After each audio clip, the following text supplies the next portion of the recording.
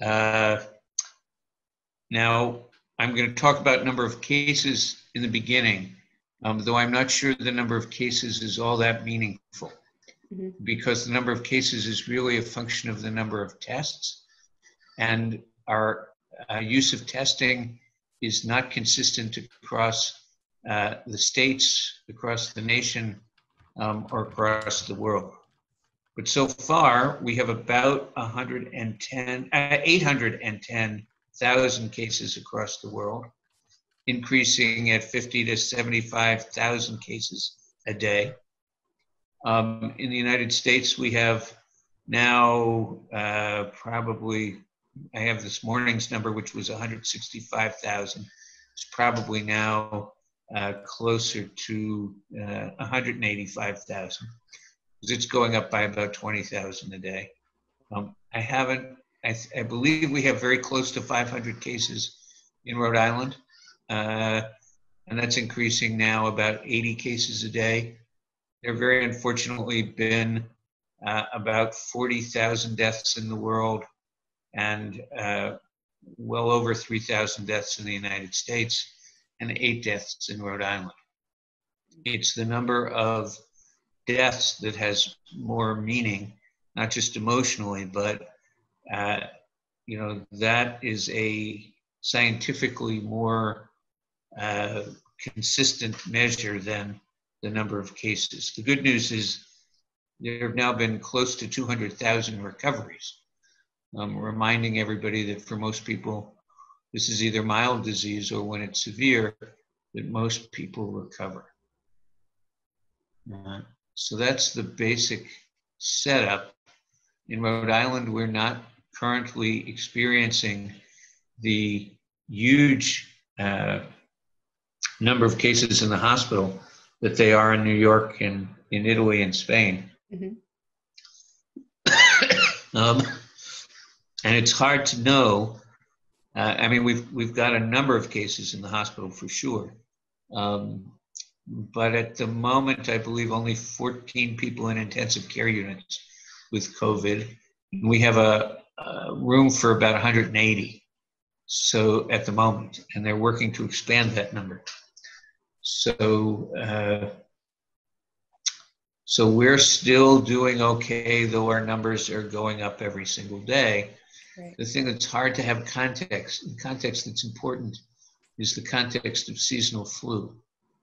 Remembering that in the United States, we have something in the neighborhood of 25 to 40 or 50 million cases of flu every single year and 30 to 60,000 deaths from seasonal influenza every single year. So, you know, though uh, coronavirus looks like it will catch up this year, it's probably going to be three or four times the number of deaths from flu, but not, you know, not so many as to be unimaginable.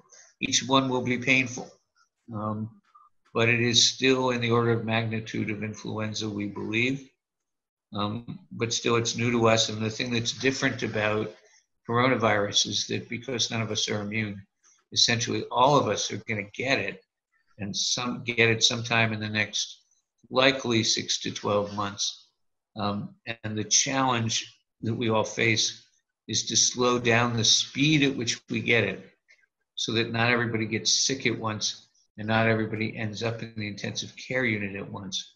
The risk in terms of excess death is the risk of overwhelming the number of ventilators we have because the people who will die unnecessarily are the people who will die if we don't have enough ventilators for everyone who needs one.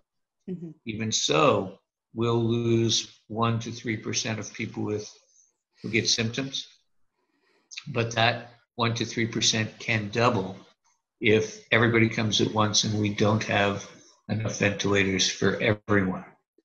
Um, and you know, one of the things that's important is to remember what everybody needs to do to control this. And some of this is known, but I think some of this this is essentially new information for people. Obviously, everyone knows about staying home, about washing your hands every hour, about avoiding other people. You know, first they were saying 50, less than 50, and then they were saying less than 20, and then they said less than 10 and less than five. I think the basic rule is, you know, for the moment, stay away from people as much as you can. Know, obviously, other than the people you live with. Um, if you're sick, um, now the important news is what to do if you're sick, because we're all going to get sick from this. Though few of us are going to get seriously sick. But if you're sick, what we want you to do, now, and what I'm about to say first is this is what my own suggestion is. I think everybody who's sick needs to put on a mask at home um, and then go into uh, a room and stay alone in that room for about seven days or until three days of no fever um, until you're really getting significantly better. You need to isolate yourself um, or hibernate in a room from even away from your family, just by yourself, bringing a television and a, a bunch of books, mostly a bunch of books, remembering my audience, um, but bringing a bunch of books, uh, you know, some music, uh, uh, a, a, laundry basket because you don't want to be in and out of the room. You know, going to the laundry, going to the laundromat, or going to uh, uh, to the washer and dryer. Um, you want a, a big receptacle for garbage because you want your meals to be dropped off in front of your room by somebody in your family. Have them go away, go away from the door, and then pick up your meal on a paper plate eat on the paper plate, and then throw the paper plate away. And then not have to come out of the room to move garbage around, not have to move, come out of the room uh, to wash the dishes. Um, you know, if you can use a separate bathroom from everyone else, that's better. If you can't, then people need to disinfect and disinfect and disinfect any surface where you've been. Um, but keep a mask on the whole time. Um, my suggestion as families prepare is for everyone to either find or make uh, seven masks for each person. So you have one mask for every day that you're in isolation, assuming that you're going to, we're all going to be in isolation uh, for some period. So why don't I stop now and listen for questions? Anyone? And don't forget you have to go to the corner, left-hand corner of the Zoom box and take off the mute button. If, if we, in order for us to hear you. Hello. Hello, Catherine. No, it's actually Lori. Hello, Lori. I, though I don't have my screen name that. Um, so I don't know if this is too big of a question per se it is a serious thing, obviously, but how is it that it's so much more serious than flu or influenza? I can answer that question. Great. Um, most of us have some immunity to influenza um, because we've had it before, because we've had flu shots, one or the other, or both. So that even though the influenza virus changes a little bit every year, we have an it's it doesn't change so much that we don't have some residual immunity. And 37% of us get flu shots. So that we have augmented immunity directed at that year's flu which means in any uh, given year about 5% of us will get it. Um, but 95% of us won't for uh, coronavirus we have no immunity. Oh. And so all of us will get it, and you know, close to all of us are getting it at once, which puts extra stress on the uh, on the hospital system. Yes. Um, that's point one and point two. Because we have no immunity, it is much harder for us to fight this virus. Even though the virus itself doesn't seem to do any much more in general than flu does, but it can overwhelm the immune system because we have no immunity to it at all. Now we develop immunity, thank goodness. But if you get, uh, it appears that if you get what we call a large inoculum. That is a lot of uh, a lot of flu virus at once, a lot of vi- viral particles at once.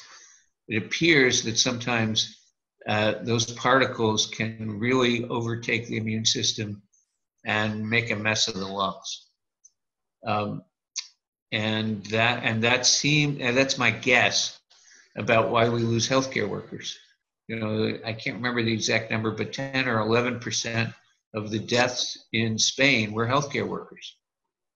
Um, and I think it's because of the large inoculum and no pre-existing immunity. I see. Thank you. That's helpful.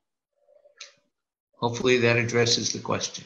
So at this time, myself and a lot of other people, being the time of the year, seem to be um, experiencing allergy symptoms.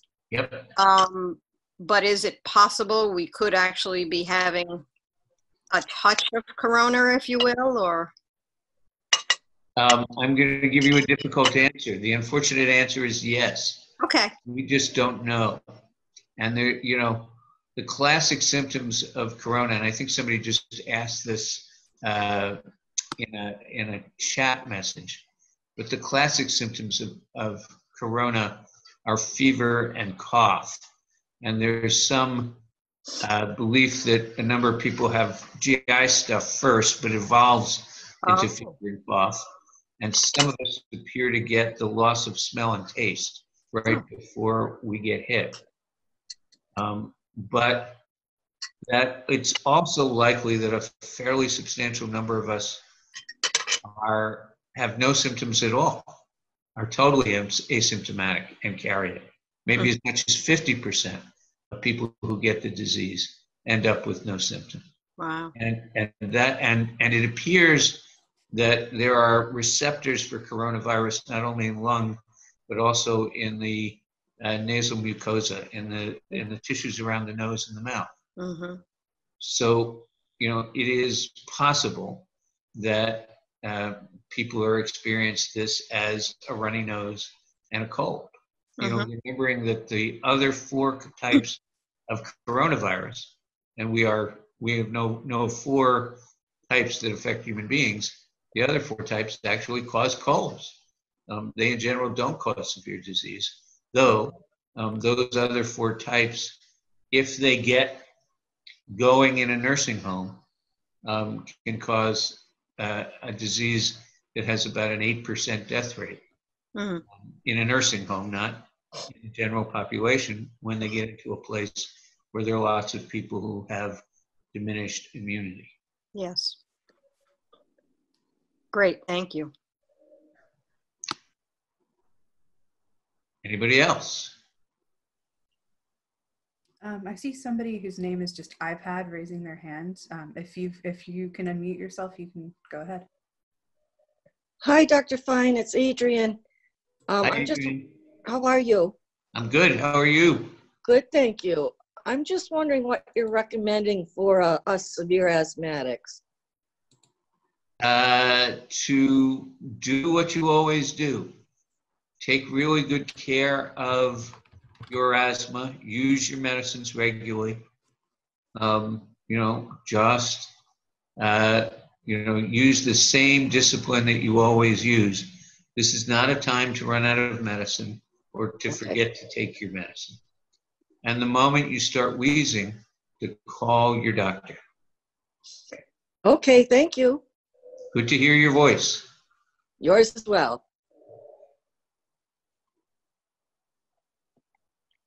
Anybody else? Yeah, good evening, Dr. Fine. This is Frank. Thank you for your time. Hi, Frank. Uh, quick question. I, um, there were two uh, good information on a sick room. Uh, just me and my wife here. We have a couple extra bedrooms, so we're actually going to prepare for that. I haven't heard that yet. So that's some really good information. So we're going to get that set up ASAP. But we're both doing good so far. Um, my thing is, you haven't really heard on the news or any outlets about that. All of us will eventually catch this. Could you tell me why they're not talking that way? Or? I well, I, I think their version of the world is they don't want to frighten people. My version of the world is for most of us, this is asymptomatic or mild disease. Why don't we just tell everybody up front that that's likely to happen so that people don't get freaked out when it happens? You know, it is going to happen. You know, most of us think, you know, at least 60 or 70%, um, and likely everybody because we have no immunity. And that way, it'll be like that till we've had it once or until a vaccine comes out.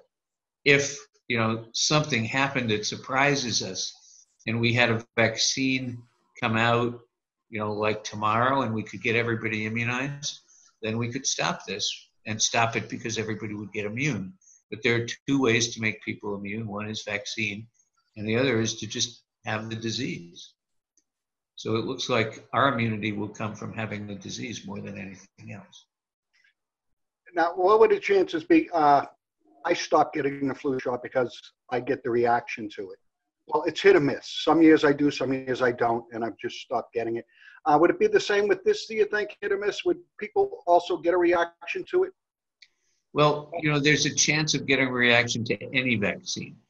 And Right. some of that reaction is actually a good thing because it it's evidence that the immune system is reacting to it. And when the immune system reacts to it, that's where you get antibodies and that's where you get immunity. Um, so any vaccine that had no reaction would probably be a vaccine that didn't work very well. Interesting. Right. Um, you know, and I continue to strongly suggest people get flu shots every year and to differentiate to, you know, not to get worried if you get the reaction of, you know, you get an achy arm and, and achiness and a low grade fever for a day or two. You know, that's the body reacting to the flu shot the way it should react. Now, that's a very different thing from the very few people who will get a true big allergic reaction and shock. Obviously, if you've had one of those, you don't want another flu shot. But if you get the kind of reaction I described of, you know, like your your arm aches and you get kind of general muscle aches and then a day or two of low grade fever, you know, that would not that should not deter you from getting the flu shot uh, because the real flu is a disease that is usually much more difficult for most of us. The real flu is five to 10 days out of commission, feeling like you've been run over by a truck. The good news is that only happens every 10 to 20 years on average for all of us, but when it happens, it's no fun. And at the same time, if you are over 65 or have other uh, medical problems, the real flu can be as dangerous to you as coronavirus is to people in that age group. Okay, well, thanks for that. Yeah, it looks like I'll get back on that flu shot then, and uh, maybe I'll just have it taken on a Friday, so I'll have the weekend to recover. Yeah, I think that's a great thing. yes, yeah, but yeah, all my life it's been hit or miss. They say they've refined it; it's gotten better, and I went and got it, and it was great. I went the next year, and I had a 24-hour bug thing going. But um, okay, that's great information. It's good to know. Thank you for your time. Appreciate it. Great. Thanks for being here. Other questions? There was a question in the chat just now. Okay, which I can't see for some reason. Uh, okay. It, I saw it and then it went away. I can I can read it out. It says, uh, "What level of caution should we use when bringing groceries into our homes, either from shopping ourselves or having them delivered?" I, I you know, I don't know how to answer that honestly. Um, the likelihood of, of virus coming that way seems a little small. Um, but there's, you know, there's sort of no downside to wiping things off um, as you put them away. Uh, but, you know, I mean, I, I, I you've got to eat. And, uh, you know, I, the other thing I think people have tried is putting groceries, leaving groceries in, the, in their bags for a day or two. Understanding that the virus seems to last only about 24 hours on paper or cardboard. It lasts as many as 72 hours on cardboard or metal surfaces. So, you know, I mean, if there are things that aren't perishable, um, if you wanted to be cautious, you could just leave them in their bags or boxes um, and put them to the side for two or three days and then unpack them. That's a strategy that ought to work. But remember, I'm the guy who thinks we're all going to get this. So as far as I'm concerned, I might as well get it and get it over with. I'm not, I'm not perhaps inappropriate, but inappropriately, I'm not afraid of getting it because I'm going to get it regardless of what I do. I think the challenge is to make it so that not everybody gets it at once. And that's why we're being so cautious.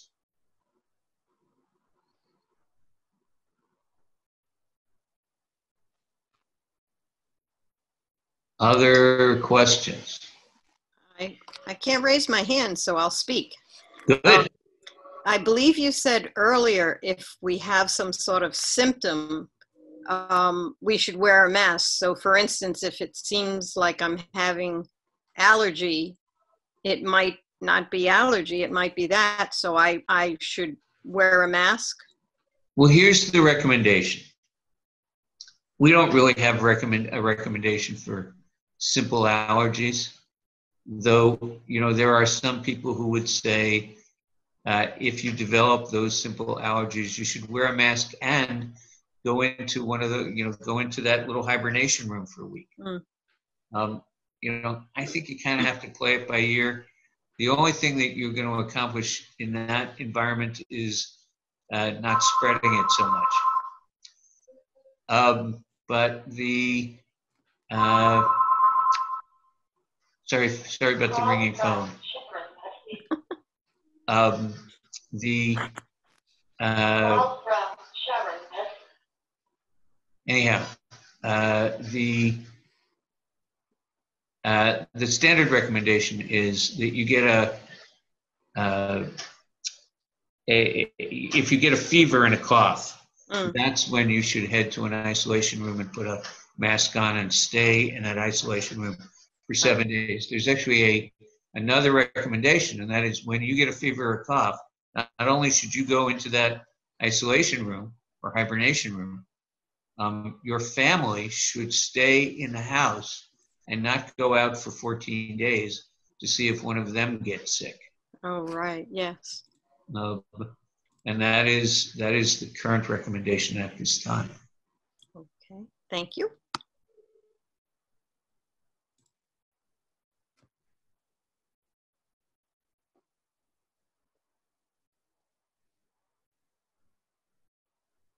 Any other questions?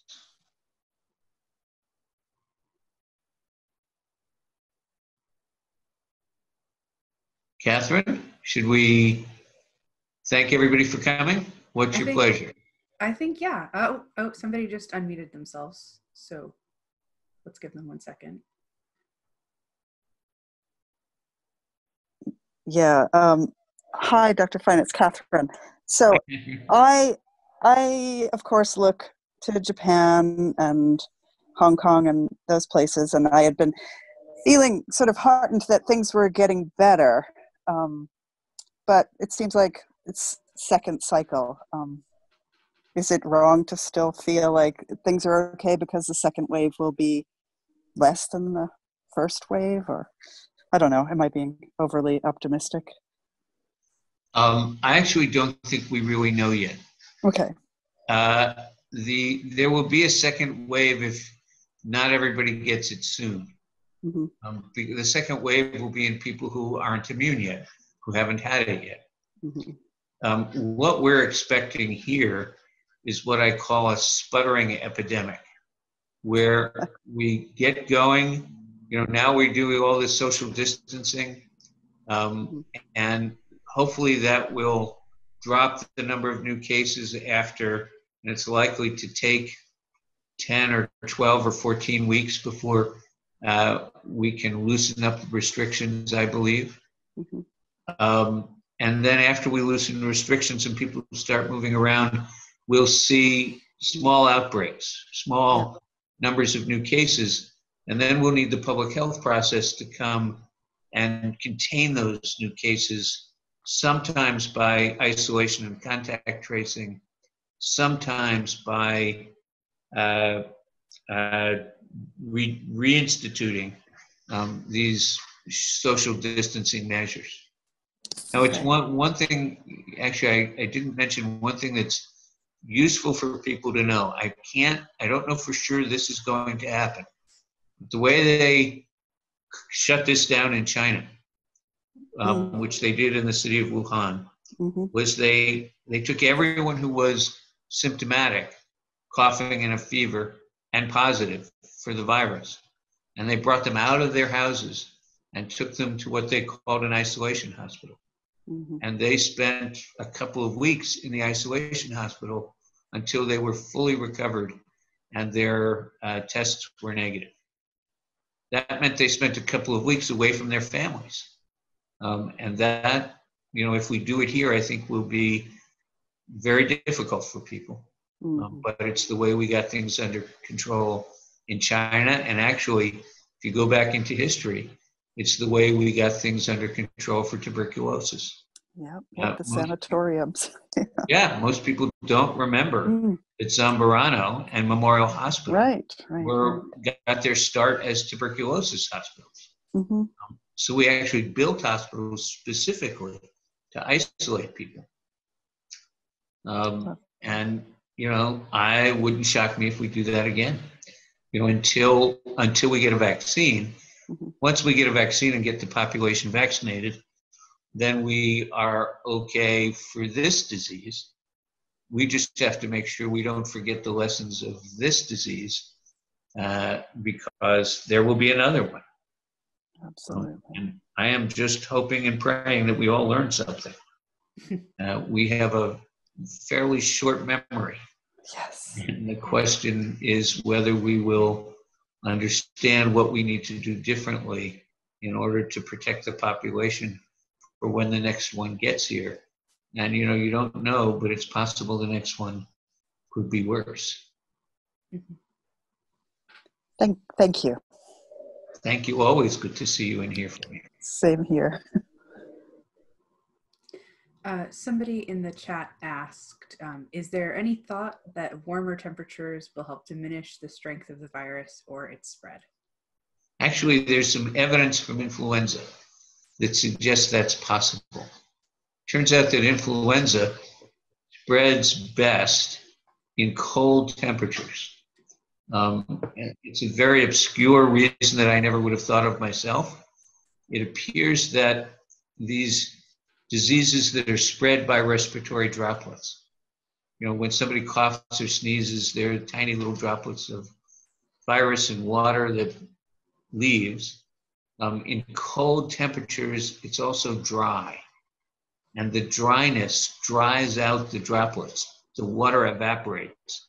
And that leaves the viral particles drifting in the air um, and are in the air for someone to inhale if someone walks by. In warm, wa- in warm, uh, moist climates, that same droplet doesn't lose water, it actually takes on water and it becomes heavy and falls to the ground and isn't as transmissible. So there is logic to the notion that the warm weather may improve it, but there's no guarantee. We remember we're seeing this particular virus for the first time, and we are going to have to learn as we go, studying it every single day before we can answer all the questions that are being asked definitively with a good with good science. Thank you. That's actually a really cool answer. Isn't it a good, cool story? Yeah. Um, does anybody else have questions?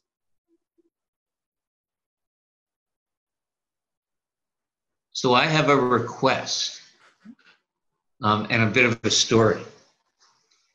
Ebola in Liberia was stopped not by doctors and hospitals, um, not by medicines or vaccines. It was actually stopped by the process of community organizing.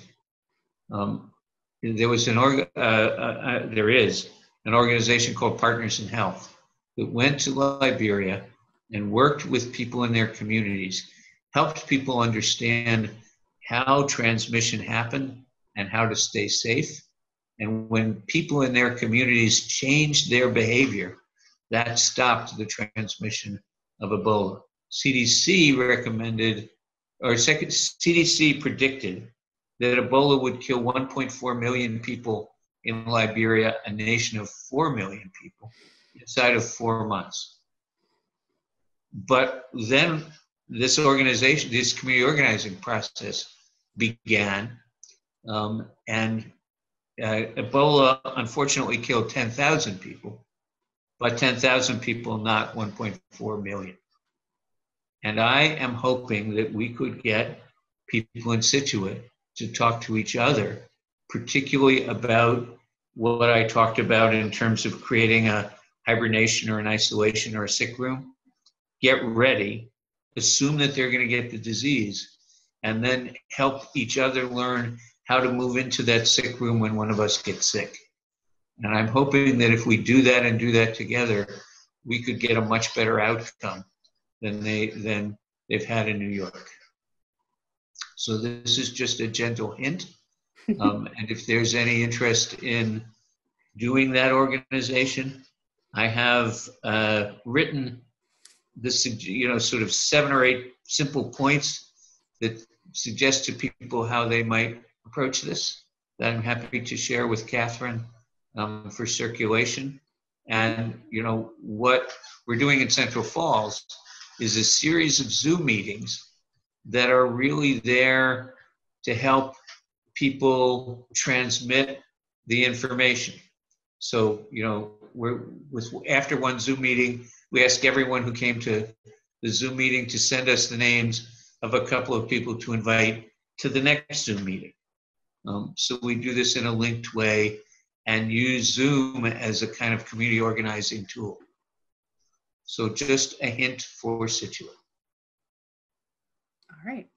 Um, also, I uh, I've been recording this, and I will be posting it uh, on our Facebook and our YouTube channels. So if you just want to share the information that we had tonight with somebody, there will be links for that pretty soon. I'll send it to you tonight.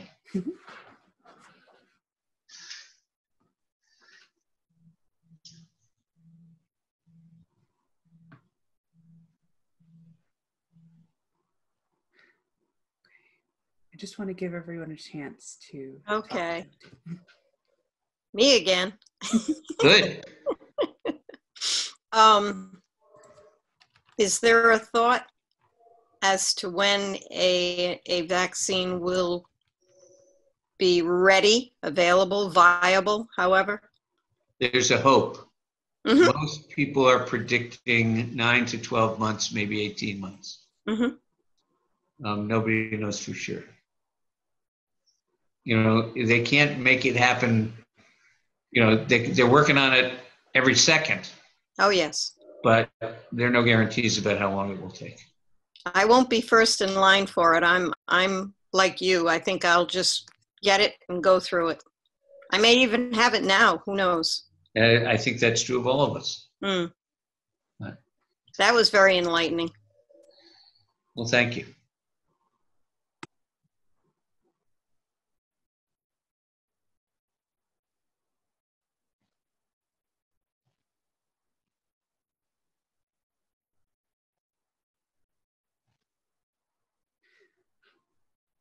Okay. Um, if nobody else has anything else to say, I think we can wrap up. Great. Thank you. Oh, thank you so much for coming. Thanks Thank again. Talk to you all soon. Yes. Thank, thank you. Stay safe. You also. You Go too. make, seven, go make seven masks. Take care. Bye bye. Good night, Bye. everyone. Good night.